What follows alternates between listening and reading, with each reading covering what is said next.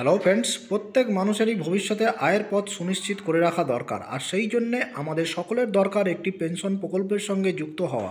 ভারত সরকারের এইরকম বেশ কয়েকটি পেনশন প্রকল্প আছে, যেখানে কিন্তু আপনি কম পরিমাণ টাকা ইনভেস্ট করে ষাট বছরের পরে কিন্তু মোটা অঙ্কের একটি পেনশন পেতে পারেন। আজকে সেরকমই বেশ কয়েকটি পেনশন প্রকল্প আপনাদের সামনে তুলে ধরবো। তার আগে ছোট্ট একটি রিকোয়েস্ট রাখব।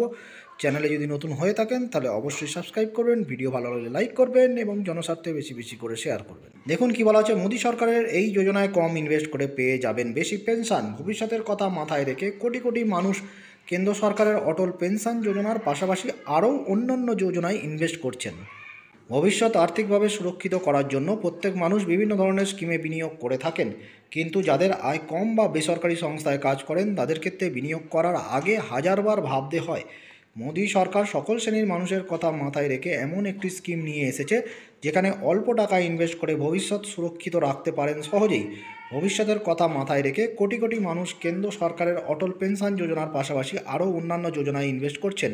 অটল পেনশন যোজনা। অটল পেনশন যোজনায় কেন্দ্র সরকার অসংগঠিত শ্রমিকদের জন্য এক হাজার থেকে পাঁচ হাজার টাকা প্রতি মাসে দিয়ে থাকে।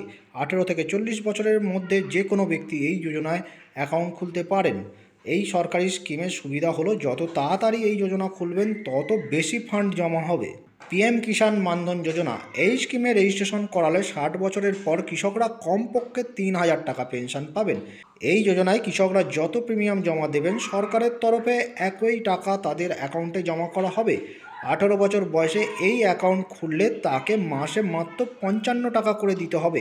তিরিশ বছর বয়সে খুললে দিতে হবে একশো দশ টাকা এবং চল্লিশ বছরের অ্যাকাউন্ট খুললে প্রিমিয়াম দিতে হবে দুশো টাকা। এই স্কিমে কেবল তারাই আবেদন করতে পারবেন।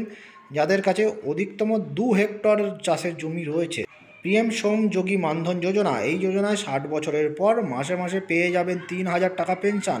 আঠেরো থেকে চল্লিশ বছর বয়সের মধ্যে ব্যক্তিরা এই যোজনায় সুবিধা নিতে পারবেন। এই যোজনার সুবিধা নিতে হলে খেয়াল রাখতে হবে যে, মাসে পনেরো হাজার টাকার বেশি আয় যাতে না হয়। সুতরাং দেখলেন এই অটল পেনশন যোজনা এবং প্রধানমন্ত্রী শ্রমযোগী মানধন যোজনা।